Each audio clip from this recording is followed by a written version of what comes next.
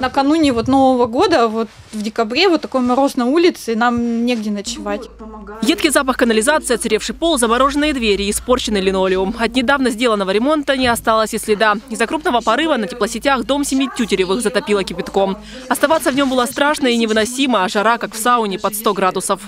После вот этого испарения кипятка весь этот пар вышел в дом. Вот была вода везде. Была вода, вот здесь просто все было в воде, все мокрое. Вот дверь промерзла. По словам Татьяны, чтобы откачать воду и восстановить тепло, сразу вызвали аварийку, но та приехала лишь спустя 4 часа, когда вся вода уже впиталась в пол. Да и трубы отогревать пришлось самим вручную. Сейчас в доме немного потеплело, но жить в ледяном замке совершенно невыносимо. Семья с маленьким ребенком ютится у родственников.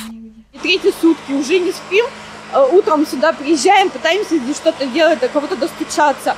Э, Плюс все это смыло вниз, как фундамент себя поведет весной. Дом может повести. У соседки пошли трещины в гараже. Вот посмотрите, вот это вот прям, вот калитка. К ней вчера приезжал человек, он заглянул, он говорит, я боюсь проходить, там опасно.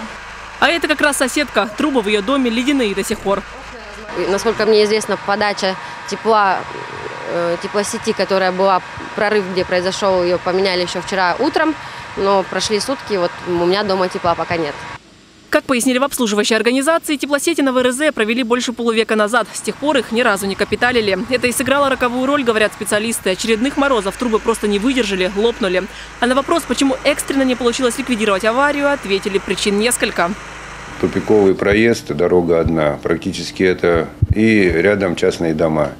Ограничены э, в маневрировании, что не можем подъехать. Очень высокая, большая глубина, не могли докопаться до, до самого повреждения. Очень большую часть работы выполняли люди э, вручную, грубо говоря, э, стоя на лопатах.